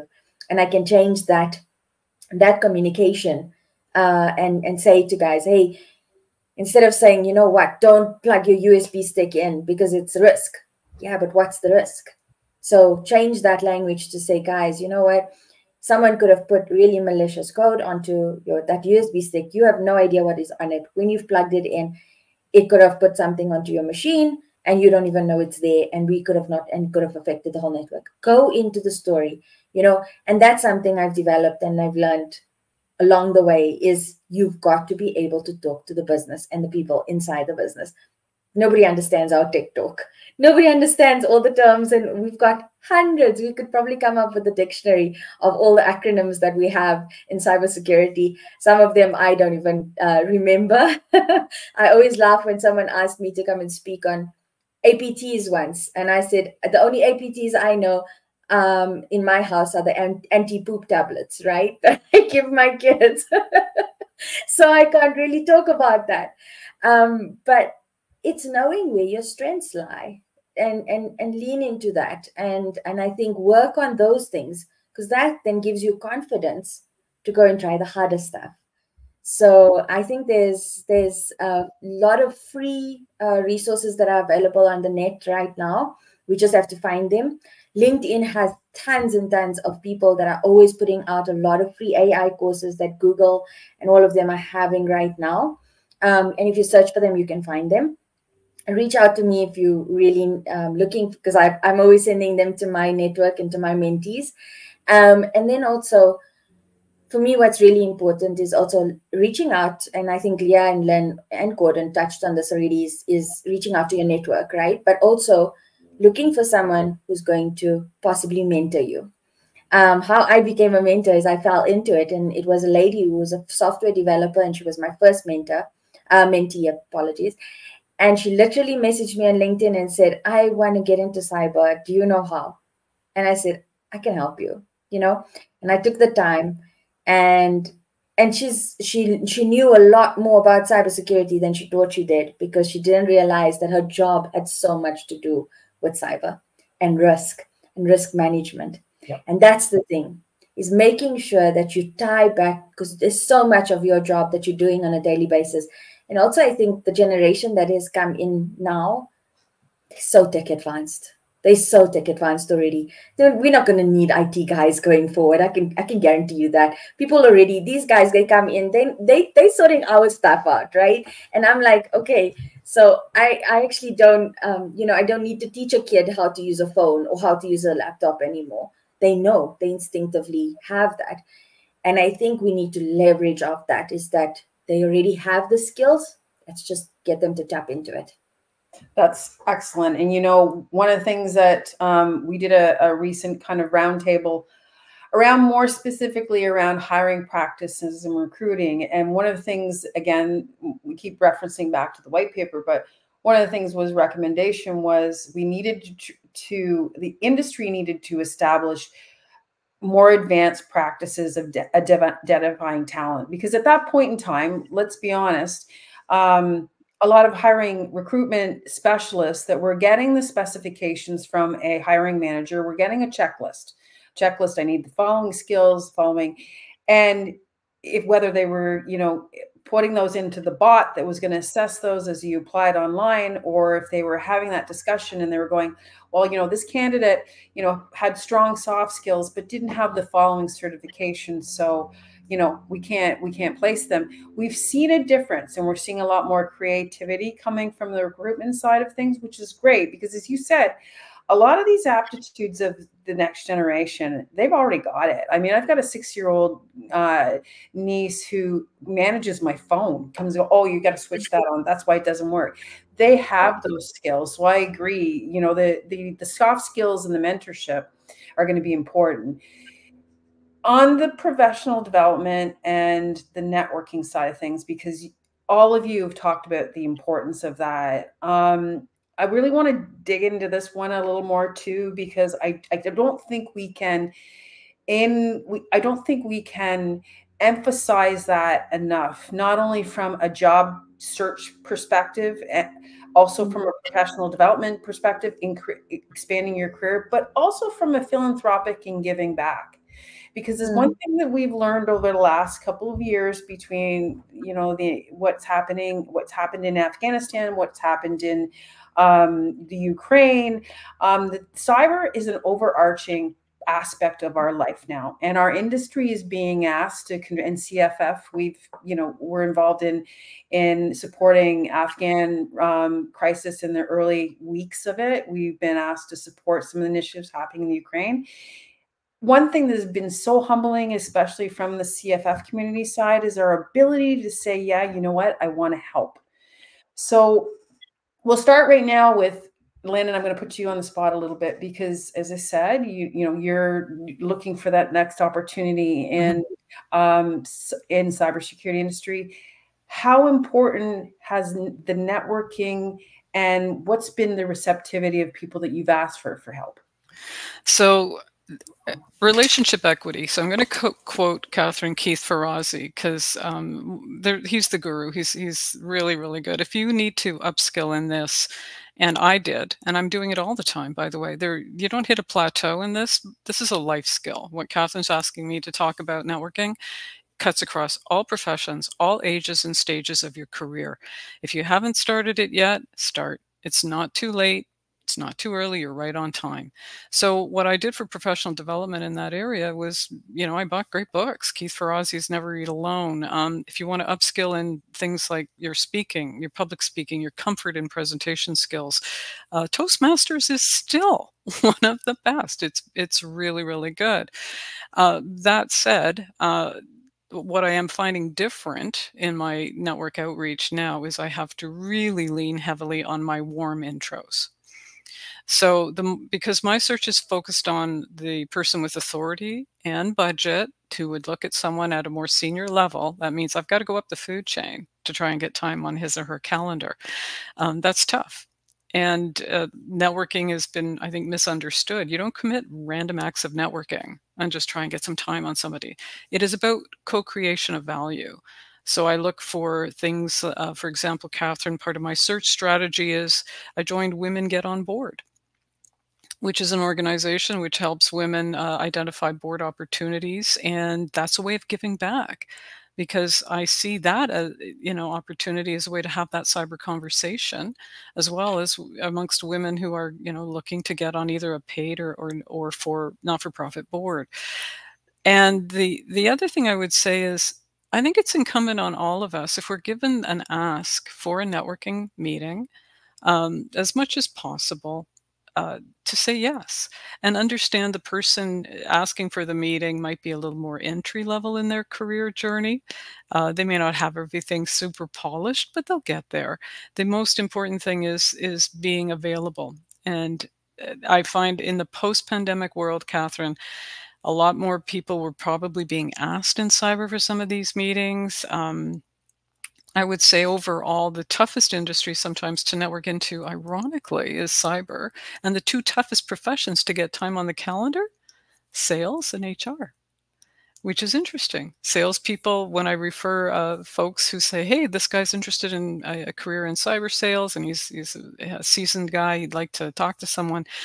Uh, I don't have any jobs. Well, the networking ask isn't about do you have a job? and you're gonna like so there's always an element of this with which includes some sort of education about what is a networking meeting really about. It is co-creating value for each other. And it's finding something that I can do that's helpful for you. I always end my networking meeting with a thank you, of course. So good manners, Catherine, super important finish that call off with a thank you, a deep appreciation.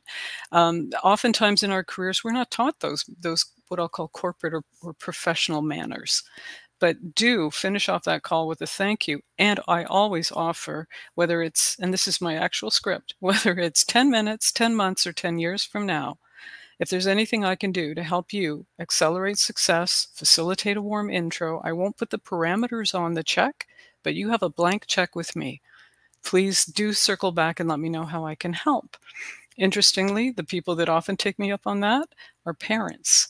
And they're looking for someone. yes. Yep. Now, I, unlike a lot of the folks on this on this uh, wonderful discussion, I wasn't blessed with children, so I have to be very intentional and remind myself to remind folks, please, if your children going into university? Are they studying PR? Are they studying something that maybe is a profession I have some experience in? Of course, I'm happy to have that.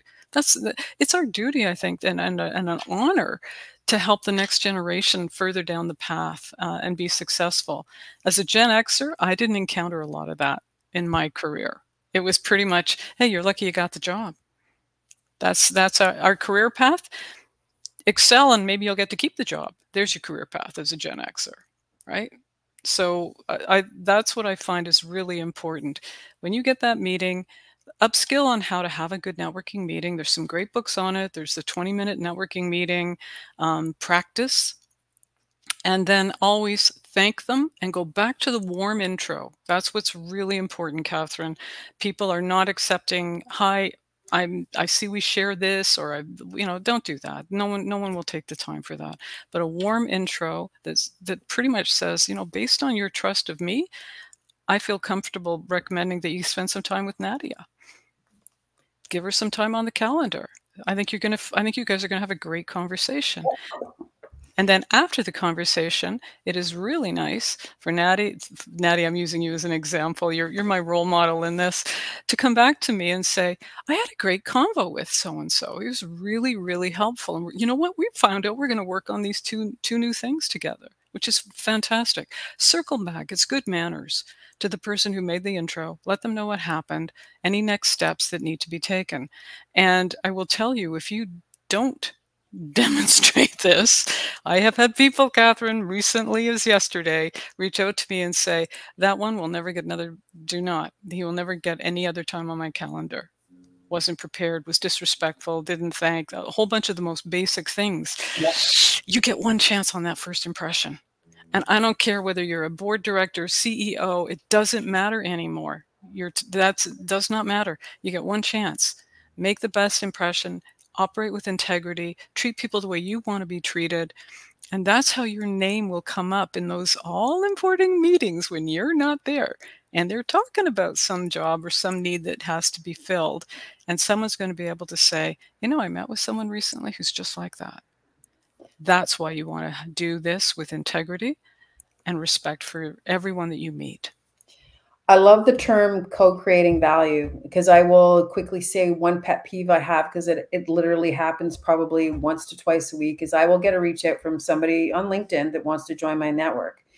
And I'm always interested in, in meeting new folks and people that are maybe reaching out because they're interested in our, our commercial side of CFF or they're interested in CFF. But when I instantly accept an invite and I get the message back that says, we have the following technology that would be really interesting for your members or i do you know professional development for sales leaders and i would really like to talk to you about the following thing. That's not that's very that's not reciprocal. It's not co-creating value and then a lot of times i won't respond. So i love the the whole messaging and what you're saying in terms of using that is driving that reciprocal value Gordon. Catherine, sorry, just before I, I, I sure. finish off, on that very theme, one of the CFOs in my network uh, has has developed a pretty. I'm going to call. I'm borrowing from him, so you can learn all the time, even though I've even taught this. And his when he gets a, an outreach like that, which is effectively a cold call, when you think about it, um, he pings them back and says, uh, "I'm always interested, as you are, to join, uh, to meet new people and and find out how we can help each other. Uh, but before I accept you as a member of my network, which is real equity, by the way, um, let's let's schedule some time and find out uh, what it is you think you want to want to do. And that way, he he really gets them to filter uh, are they just adding coll a collection or do they want a connection? Yeah. And that person who did that, that's a seller who is and sadly misrepresenting everything. And and the very thing we we all want to teach our sellers not to do is to do a bait and switch where you've reached out for one reason supposedly on LinkedIn and then you've turned it tried to turn it into a sales call. Yeah. That's not integrity. So, and I 100% agree with that. And in terms of those reciprocal invitations, and and Gordon, you did this for Val and I last week, and introduced us to to um, an organization that you do work with. What are some of the parameters that you will go through in terms of before you facilitate and make those introductions? And because you got a massive network, what are some of the considerations you have in terms of making those connections?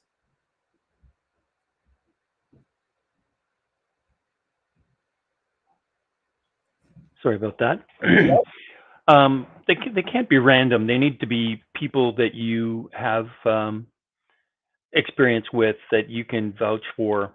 Um, I, I won't provide an introduction, a personal introduction with with um, uh, like a reference if I haven't worked closely with the people. So um, where I've worked with somebody over the years over a number of years and have experienced that integrity and that um, co-creation of value, I will share that and I will um, um, refer to that, um, and, and, that reflects on me. So you know, if if somebody's just coming to me saying, "Can you introduce me over here?" Well, no, I can't if if I haven't got the experience with you. So I, I think that that that speaks highly of um, relationships and you know, as as others have been saying, your network is, is critical. I know years ago I found myself between jobs. Uh, I reached out to my network, and my pre, pre previous boss um, said, "Hey, I've got a job for you here at Compaq. Come come come to work at Compaq Computer Corporation. You've never heard of them, you know? They're this little small company, but uh, it did me well. So I think I think network is is critical, and you can't abuse it. You need to respect it um, and and use it with integrity. And I, I 100% agree. And that's another request that folks will make. And if I don't, I'm the same way. If I don't have a, I haven't worked with you and I don't have a professional knowledge of you, I don't feel, I will not make that introduction. Um, Leah, from the the kind of the volunteerism um, philanthropic side, and feel free to talk about how awesome CFF is. Um, you've been very involved in the networking from the you know getting involved with not-for-profits. You know you've worked with cff you do a lot of work in running some of the meetups that are in the dallas area where you are um, and also working with other organizations that have reached out to you. What from a networking standpoint has that getting involved in organizations like cff been a benefit for you in terms of your career advancement? Um, it honestly it's the community. It's knowing that you have others to well one i like to help. I just i like to help. I believe in the causes. Um, most of the time i'm going to be associated with those organizations like cff where what they're doing is something that i'm very passionate about as well and i want to help contribute to the cause um, and make it better right? Make the improvements that we need for the next uh, future generations to come. That's number one the, the mutual um, passion if you will.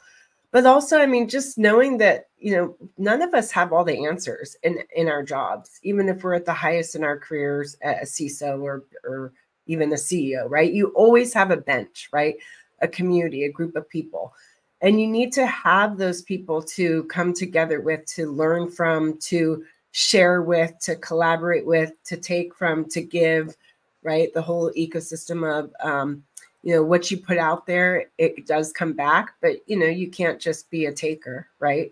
Um, so having the people that are like-minded that you can be around with learning the diversity the different mindsets um, and just being part of a community that's really important. Um, we can't do this alone right?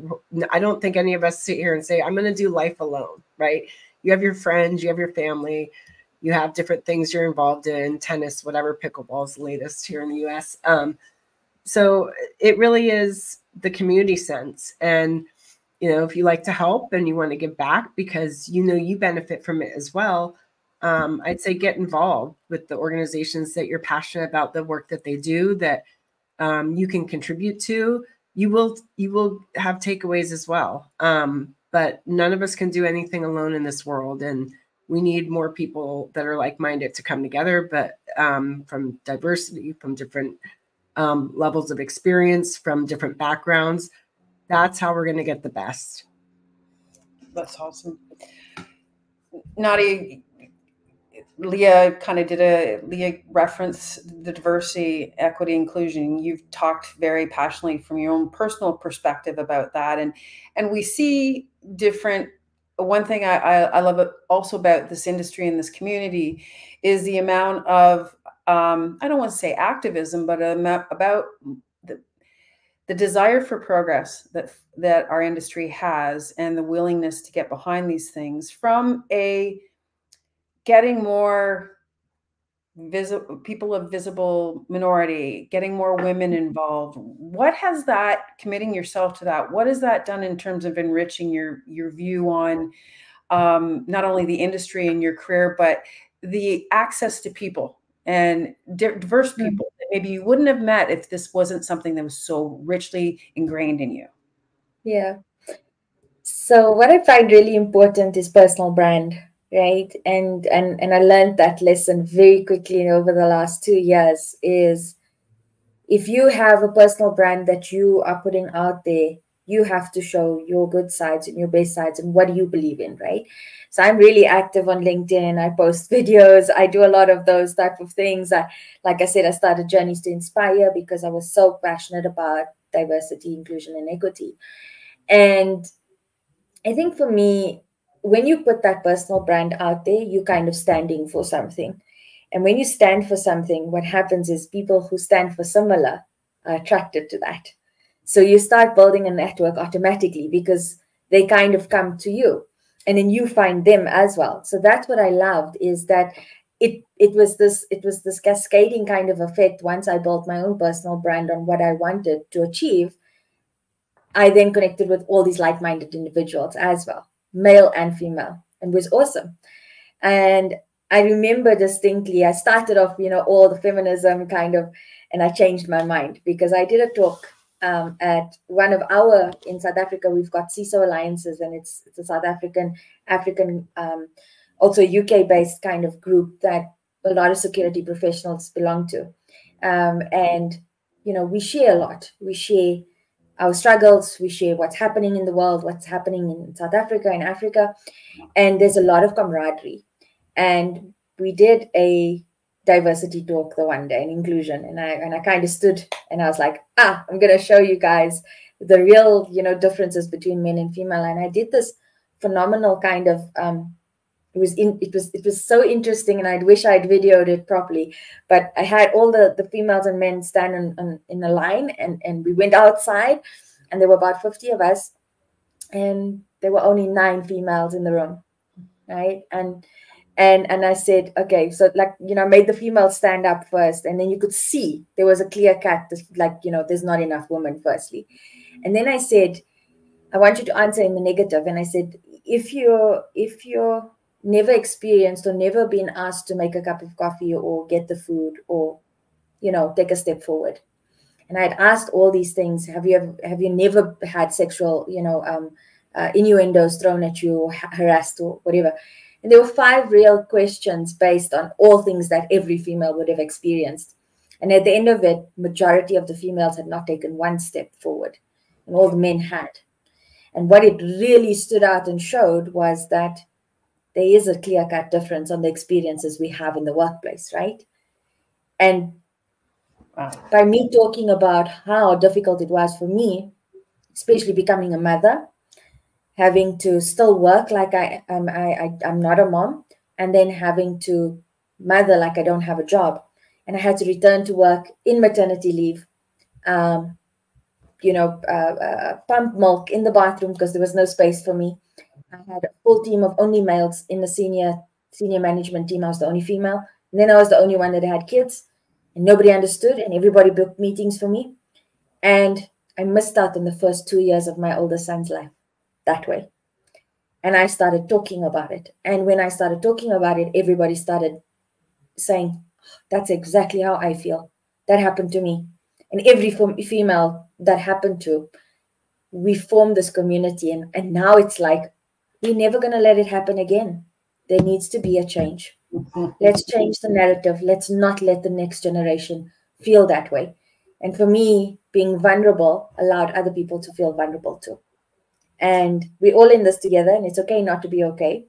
Um, and I know I slightly went off topic, but I think it's important because it talks a lot into sometimes if you if you've never experienced a a, a um, a problem with diversity or inclusion, if you've never experienced it, if you've never been a, been a woman, if you've never been a woman of color, if you've never been a mother, um, you won't know what it was like. So unless we tell you, you're going to keep going on thinking doesn't happen. That is such a powerful message and something that resonates. You know, we've talked about the the, the mental health aspects, the the the stress aspects of, of a career in certain areas you're mm. working in cyber and you know that that mental health impact so never apologize for that because i am 100% behind you it's it's okay to be not okay um and val rejoined us here um val can we i'll encourage linkedin um, viewers right now if they want to post any questions uh, please do so uh, val any comments as you were kind of actively listening in the background about what we've talked about so far I was actually soaking it in. So, so this is a this is an incredible conversation, and uh, uh, so much in common with what we have had before in these forums, uh, but also very unique. And um, uh, Nadia, thank you for you know sharing sharing um, you know the words of uh, your experience. It needs a lot of courage, self motivation to actually share that. It's not easy for uh, for anyone to come up and and you know talk about things that are not your strengths but those are actually strengths uh, we also got the beautiful moment of your daughter joining us uh, in this call it still reminds me of the time when you know my son is to crawl in and not to disturb him but still try to try to listen in what's going on. So i think that's that's the nature of life. It's important to uh, you know accept and embrace um, the real us so that we can actually uh, contribute back in our best uh, self uh, and also you know find our next version of the better that we want to be. Um, so no thank you. Uh, this has been again very very insightful incredible discussion, each of the points I believe goes into um, you know prove the point that uh, our, our, profession is very much in in in the place where it need, it's maturing, but needs a, a lot of um, contribution from all of you in your diverse um, backgrounds to add in. Whether you know Lynn talked very passionately about the sales, uh, you know, uh, background and how that in, enables the business, and so did Leah about her experience from marketing to joining a cyber program. Nadia, your experience overall, uh, you know, uh, going into motherhood with the uh, you know, which is a which is a supreme responsibility in itself, but also taking up executive responsibilities, not having a direct mentor or someone that you can look up to in your organization, which you had to kind of learn from and and then share with others, including your mentee who has been uh, who who probably didn't know what she knew already, right? So, and and so as Gordon, your experience from uh, the the work that you have done in the industry and what you're uh, you know what you've done um, most recently at CompTIA, I think all of these are collective knowledge and uh, and experience that will uh, kind of bring us together and also help us build a more um, robust uh, you know industry and profession. Um, uh, to to recap, I would say you know that, that th- this is a conversation to be continued. Uh, I think we need to take away from this uh, the several experiences that we have in our different roles. And uh, if you just go, you know, if I can personally just go back to Nadia, you and I you've been part of a cohort, so to speak, right? It's a lifelong learning, and uh, and and those cohorts and the discussions that we have had uh, I mean, without even having any of the participants here, you can hear that resonating from the discussions that we've had through the entire last year uh, across all the sessions that we've had with. And thanks, thankful for Charles Blauner, you know, is our common mentor and also a great uh, contributor to the uh, to the work that we do at CFF, including our cyber board work, work and several other areas that we're working together. I mean, it's a common thread. You don't, you know, you're probably not in the same room, but you could be, right? I mean, virtually, just because of what we have shared across each other. Um, I, I, think uh, a couple of items that I would like to take away from this, and also a call for action for the broader community, is that uh, you know try to identify the real need and uh, your real um, current self, as you can um, think about you know contributing and learning together. It's it's always a two-way process. Uh, each of us are lifelong you know, or should be lifelong learners, and that's when exactly when we make progress. Uh, you know, if, if um, I claim to go back to my 20 years in this career, or Gordon in his 20 plus years, I think we'll be bereft of um, you know the new and awesome that is coming. Um, I I also related back to the experience, like you know, when we go into school. Uh, you know, 20, 25 years back, about we learned about C programming, C++ programming um, and and that was a different orientation as an engineer. Um, if we go try to use that, I think will be terrible when we uh, kind of go into the AI and quantum led world. Uh, so think about newer levels of learning, newer uh, career pathways, newer functions that you may not have had the experience of, but can embrace uh, when it comes to different professions, uh, professional um, kind of uh, position in cybersecurity.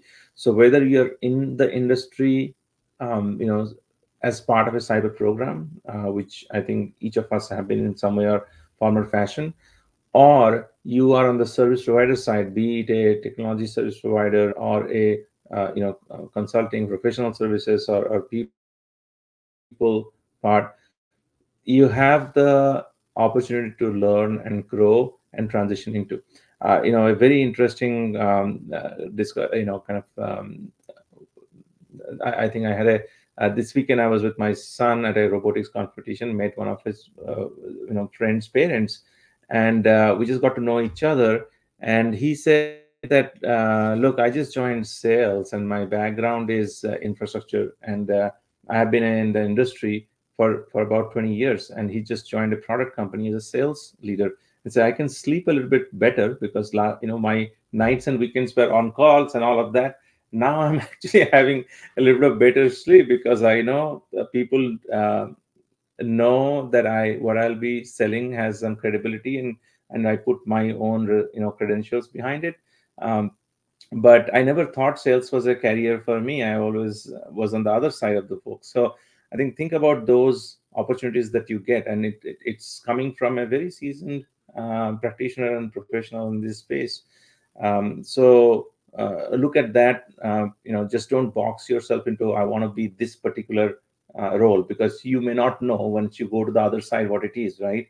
You actually have to embrace that uh, uh, new opportunity with an open mind and and learn. Um, most of us who have built cybersecurity programs or have delivered uh, from the industry side, you know, have done it with a certain amount of confidence because we have we have certain experience behind us. But once you execute on this uh, you know on this you will learn that a business today more for the most part is run by technology. And very much influenced whether it's a small company or a large is very much influenced by uh, you know different cyber uh, cast of cybersecurity actors uh, could be nation state adversaries especially talking about cybersecurity parlance or could be an opportunistic attacker. So we have taken on the role and responsibility of defend defending the business. But as we spoke through this last uh, you know couple of hours, and also some of the new announcements coming up, um, from defenders of business, we are starting to become builders of business, and I think that transition is also exciting. So if you are a seasoned leader listening to this, and if you are looking to transition, I mean, track some of those uh, CISOs who have gone on to become CIOs and CTOs. So uh, the, the CISO role may not be a terminal role for you, right? Um, so just just don't be CISO chasers. Um, uh, as I always try to say, right? You know, my personal uh, orientation is I try to go behind the talent, not the title, because titles tend to change very you know, frequently, especially in today's world. Um, but if you are behind a you know a, a good talented person, uh, you will do yourself and the other person a lot more good. I also took away from uh, the skills and qualifications uh, discussion that uh, a lot of the uh, you know uh, skills qualifications that we came into the industry with are um, probably not relevant anymore, just because you know we have been called upon to solve problems or lead or manage, right? whether solving problem as an engineer if you learned it as an electrical engineer which i am i mean if you could apply that that would be the foundational uh, contribution you can make to business solving problems uh, whereas if you're operating somebody built a architecture or a program for you and operating you're on you know you are on the cybersecurity operations team or your cybersecurity program uh, team then you know what you would be is making sure that you take upon, embrace upon the program that has been entrusted with, uh, to you and be able to operate it efficiently, making sure the key metrics and, and key indicators of success are all fed back to the management. And then managing a program uh, with the resources, budget, and all of that. It's not necessarily a cybersecurity skill. I mean, you definitely need some orientation in terms of how you run programs. And uh, that aligns to the management expectations, but not necessarily a cybersecurity function. It's a it's a management function. And above all of this is leadership, right? So I think each of you are leaders in your own rights and roles. Uh, you have you have delivered programs with uh, with a sense of uh, you know ownership and that leadership skill is something that you need to continue to build upon if you just think about what you know the the, the uh, last comments that nadia had in terms of learning to stand out and also uh, I know identifying the out, outstanding women who were in this uh, room full of men. I think it was a, a, courage, you know, moment of leadership and courage that was, uh, you know, called upon. She called upon herself, and and that doesn't come easy. And I think that comes with this sense of, uh, you know, courage and also, um, you know, ownership of this problem that you want to solve, and then that distinguishes yourself from others. Uh, not everybody can do that. Um, so skills and qualifications, please do not limit, limit yourselves to the what you're learning in school, which is very important. But uh, you know that that kind of builds the foundation. But don't limit yourselves to the to your um, you know degrees. Um, second is certification. I, I appreciate uh, you know you Nadia bringing up the the the ISC square CC certification, and uh, you know I, I, think they have been well resourced. Uh, they are probably one of the largest organizations that actually pulled for forth the one million call, and Claire has been part of these discussions prior to uh, you know this launch and all. Uh, I think that the, you know seek out those resources. There are plenty of them and i think that's what has been floating around um, in social media across the different communities um, one very strong um, you know recommendation we have from the cff leadership and community is that uh, don't just go navigating those resources yourself. Actually look out and, and search for uh, mentors and that's exactly how most of you have articulated your experience have been. Do not feel um, you know do, do not feel this responsibility just your own right? We are uh, we are collectively a, a great community of mentors as much as we are you know individual learners and mentees. So please feel free to reach out to cff uh, join cff as a friend of cff or even the broader communities that we are connected to. However uh, you know this is something lynn and gordon and i think all of you kind of mentioned about the, the etiquette of the, those relationships are going to be extremely important. If you're just looking out to connect to someone please do it with a professional courtesy. uh, and uh, and not with a you know an intent. If you know express your intent. If, if that is something that doesn't work for you i think most of us will say no right? Know i'm not the right person. Or uh, I, I i don't like people stonewalling. I think that's uh, even i get very frustrated about that. Uh, don't just think that you being an entry level or career transitioner getting that reception all of us get that right? If somebody is not interested um, most of the times they will say no i'm not the right person or uh, uh, or want to learn more but it could very well be that you know they just don't want to they just have the bandwidth at the time. Uh, the best way i can uh, i can encourage you to take those kind of uh, uh, you know i would say ghosting is to know that people are busy okay? I mean if they're not interested that doesn't always mean that uh, they're not interested in you. They just don't may not have the bandwidth. And we get that negative reception many a times. That's perfectly fine um, okay? It's not fine but it, it, and i think you should not feel that you have done something wrong unless you had your message was not well done and i think that's where you need a little bit more coaching that you know what message should you intro yourself with? Uh, sometimes i just hit that connect button on linkedin and and and uh, but most of the times i think okay what could be meaningful message to this person i'm reaching out okay then finally networking um, you know and professional development i think we we talked very thoroughly about it throughout the entire conversation i'm really um, you know impressed with how intentional each of you have been you know at, at every level like you know starting from gordon who spent decades in this industry who was a seasoned leader to those that have just joined and, and contributed. I think networking and professional development is an essential you know process of your career, uh, of your personal life. Most of the folks that I work with, uh, you know, be it someone as uh, you know as well seasoned and um, and experienced and very well known prominent figures like you know I'll name names Jim Routh or talk about Charles Blauner and several other uh, friends that I work with.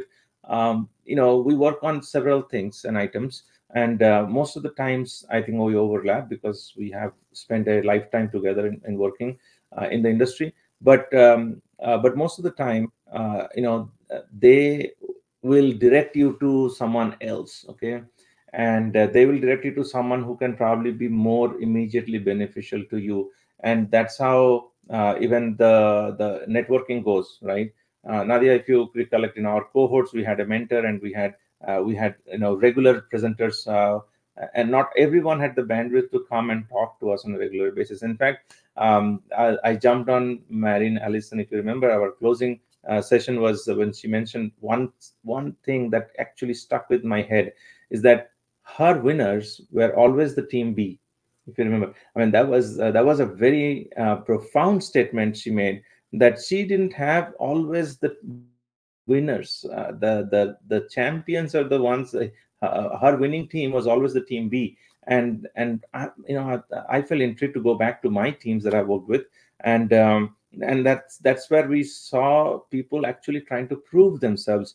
So you don't necessarily have to stand on the top of the Olympic podium of cyber and and claim the gold medal, and then be do something. Okay, you can be the the person who ran you know second in the relay race but still be able to contribute to your program and and that is where you know longevity comes. You know most of us have been successful in our career to whatever extent we have been.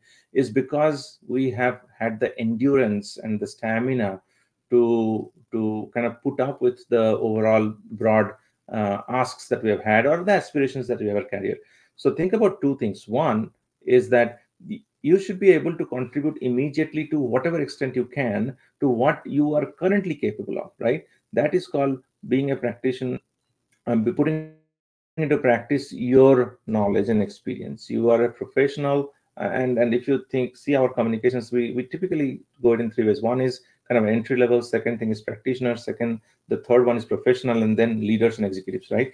So start being a, a, a, a you know in this practice of of this profession and learning as you work. And as you work you get more work on your on your way. That's typically how things work like you know 20% of the team actually carries 80% of the weight which is not fair but you know uh, we, we we have you know human beings are not all made equal so is the team. It's always strength in in collective um, strength not necessarily individual strength. So i think you know it's better to be a champion team uh, you know uh, a, a team b versus then a you know uh, we're running for the champion then and, and we are all for underdogs. So if you need help let us know. Uh, there's no dearth of motivation there um, second one is um, in terms of professional development uh, and, and your aspirations. Think about leaning on some of the folks that you see here, and we'll have subsequent discussions as well.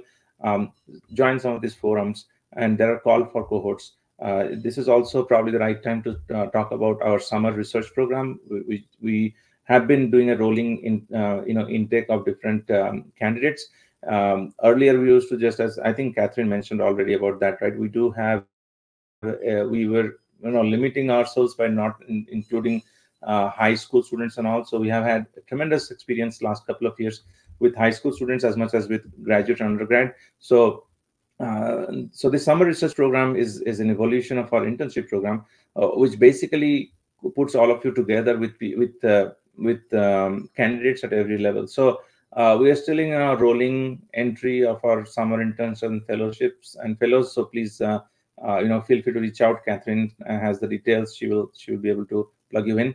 Um, but overall, I think uh, this discussion has been extremely robust. I know you have stayed, uh, you know, longer than probably due, beyond the work hours. As much as you know, we heard each of yours own um, kind of challenges and personal struggles to get to where you are, and also you know life is not you know done until it's done. So there is so much to do beyond what we uh, can or are doing or called upon to do now. Uh, you know this project gateway uh, hopefully is the gateway to that uh, that talent uh, development and cyber capacity at, at every level. Um, uh, what i would like to close this discussion with is uh, that each of you and your contribution is is extremely you know um, extremely important and incredible in terms of your sharing your personal knowledge and skills. Uh, uh, hopefully you know we are not asking too much when we say you know if, uh, if there are mentees and interns coming up through this um, process in the summer uh, hopefully each of you can give a little bit of time um, i know precious time to to guide them. And if you need and i think you need as much as i need uh, mentors, please feel free to tap on this, uh, you know, amazing community uh, for your growth. Uh, and uh, we, we try to formalize things so that, you know, we can operationally predict like and track and, and support those operations.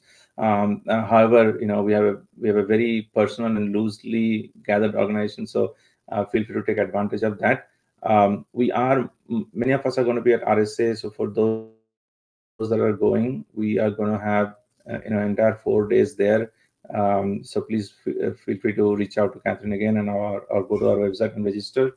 Uh, we will have many opportunities to connect. For those that are not able to go, please don't think you're missing out anything. You know, it's going to be a, a, another opportunity for us uh, and subsequent opportunities to come and meet you, whether uh, you know virtually or together um, in person. So uh, with that, uh, I, I call for any few closing comments. I know you have had a long, lengthy discussion. Uh, you know, uh, starting with Lynn, I, I, see you in a certain order in my in my screen, so I'll just call upon you for any closing comments that you may have. Sure. Uh, well, thank you so much, Val and and uh, CFF for organizing this. My my really my final thoughts for for everyone is most of the skills we talked about today. I mean, yes, there's specific cyber ones, but they are life skills, and they'll serve you well um, whether you come into cyber at early career, mid, or like people like myself intentionally because this is really calling you with a purpose. The most important thing I I learned I think in life at this point is your network is your net worth. I don't know who to attribute that quote to, but it is so true. And I, I think earlier I, I, talked about some of the books that have that I have learned from books like Never Eat Alone by Keith Ferrazzi. Um, there's there's many others on networking. There's uh, others for upskilling on business skills and human skills. So don't discount your bookshelf and and the great things that you yes we do a lot of webinars and we do things like that but uh, I, I, found great value in, in, building a good business and learning library of my own and um, and sharing that with others.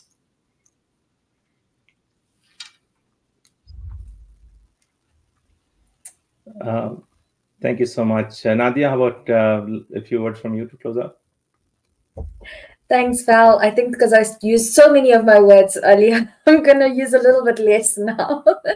um, I'd like to actually say something that I, um, that Lynn has spoken so many times about is sales, right? We are all in sales. Everybody's in sales. I learned this. Um, you sell yourself, firstly. You need to learn how to sell yourself, and you'll be confident enough that one day when you walk into the boardroom, because you're going to have to sell your strategy, because that is key, right? You have to look for budget, you have to speak to the CFO, you have to make sure that there's money. So you're selling all the time. And I learned that. It was a hard lesson to learn. Um, so we all in sales learn, and I love it because you're right. It's a fundamental skill that you need to have. Um, but also, um, you're never alone, right? There's um, I know cyber sounds like this really cool exclusive club that everybody can't get into, but it's not. It's really not like that. I just think, um, you know, have passion, have drive, really reach out, um, speak to people, and network, network, network. I think all of us have said it so many times. Join groups. Um, there's a couple of groups that I also want to talk about quickly, and I forgot to mention it was uh, for diversity is cyberversity or cyversity, diversity cyber council and secure diversity. And I know a lot of them are, are based in the US. So I know a lot of people will benefit from that. If there's anybody in Africa or South Africa that looks for something specific, please reach out to me and I'll share those with you as well. But thank you so much, Val and um, Catherine and CFF for having me, especially from uh, here deep down South Africa. I appreciate it a lot. And nice meeting all of you guys. It was such a pleasure being on the on the panel with you all. Thank you, Nadia. Leah Gordon, anything close to uh, to close this? Yeah, I'll reiterate a little bit what Lynn and Nadia said, but you know, always be building your network. Um, that's very, very important. Hone in on your skills and always be learning. Um, and I want to thank CFF and this organization and all of you today, and um, you know, here to help for anybody who needs it. So please do reach out. Yeah, Val, I'll just add, um, you know, there's um, four and a half million jobs open in cybersecurity right now globally. There's somewhere between, depending on what you read, 350 and 450,000 jobs open in the U.S. So there is a place for everyone in in cybersecurity. Um, my son works in cybersecurity uh, in sales, and uh, his background is a degree in education of all things. Um, so absolutely, uh, we need salespeople. We need marketing people. Um, we've done a terrible job of marketing um, this industry, um, and we need to attract more people. So um, if you're interested, reach out. Um, any of us would be happy to help.